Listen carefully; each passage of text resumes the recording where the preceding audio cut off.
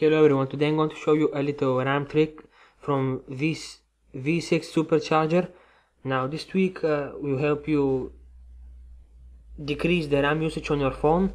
Now by default, usually when you have run a few apps here and there, the uh, RAM usage goes to 200 and something. And uh, once you press on clear memory, it, it minimum goes down to at least 120 for example, or 30, even 40. But thanks to this uh, tweak you have less RAM usage. Now please note on mine it is still uh, quite a lot because I still got uh, a lot of apps running. So yeah let's go on with the trick. What we do here is we did the build prop file and uh,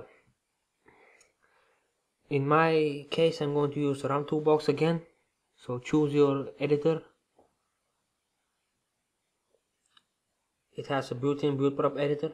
Here it is now we, we just need to add one simple line somewhere in the build prop. I prefer to have it at the bottom of our text. And uh, there it is. Now I'm going now I'm going to see it.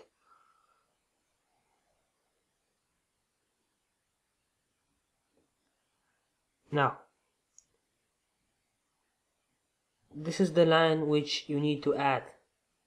A role dot home uh, app adj equal 1 once you type out this I'm going to leave the text in the video description so that you can copy. Or no wait. Anyways once you type this in you press done and you save. And now after you have saved you need to reboot your phone uh, ROM Toolbox has a built-in reboot button. So yeah I'm going to quickly reboot from here. And uh, yeah we reboot the phone now. And we'll be back once it boots up again. And okay we are back. Now let's open the task manager again. And let's check out our RAM. Now it's back to this. Once we clear memory you see you see the huge uh, difference it cleared a lot. And uh, yeah it stays there. Now of course you increase a bit uh, once you press the back button and you want a few widgets here and there. But uh, yeah once this loads for the first time you can see the speed. It is much better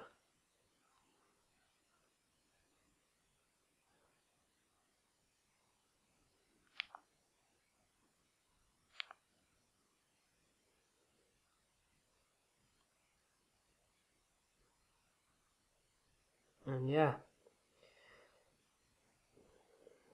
You can try this out. And you can anytime remove this by removing the line. Yeah that's about it. Thank you for watching and goodbye